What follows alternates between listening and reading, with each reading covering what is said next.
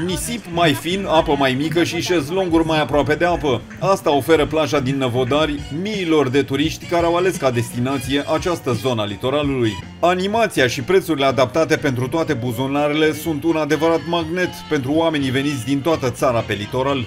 Amenajată cu șezlonguri și umbreluțe sau beach baruri și locuri de joacă, plaja din Năvodari a devenit în acest sezon estival ideală, atât pentru familiile cu copii mici, cât și pentru tinerii puși pe distracție. Este frumos, liniște, marea e curată, și aici ne simțim cel mai bine. Turiștii sunt din ce în ce mai dornici să-și petreacă sejurile aici. De la o zi la alta, plajele sunt tot mai animate, iar în weekend aproape că nu se mai găsesc locuri, spun operatorii. Față de anul trecut, remarcăm și noi o creștere a numărului de turiști, atât în timpul săptămânii cât și în weekend și am vrea să credem că ne facem treaba mult mai bine ca anul trecut și de aceea vin turiștii. Însă știm că și problemele din Mamaia, din stațiunea clasică Mamaia, împing o parte din turiști către nord, către noi.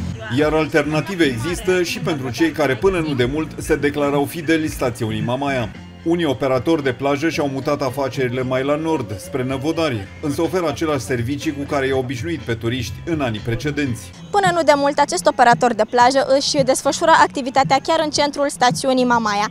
Din cauza lărgirii excesive a plajelor, acesta a fost nevoit să renunțe la sector și să închirieze în Năvodari. Aici nu s-a mărit, este apa micuță, vin foarte mult cu familiile, pentru copii, stau aici, iar în Mamaia acolo e mărită plaja și apa mare direct din câte am înțeles de la ei.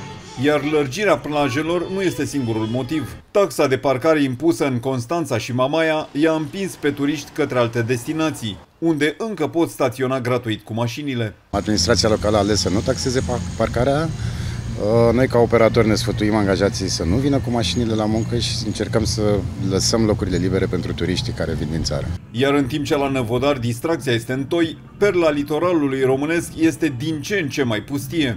Administratorii plajelor spun că înregistrează scăderi dramatice când vine vorba de încasările din acest sezon estival.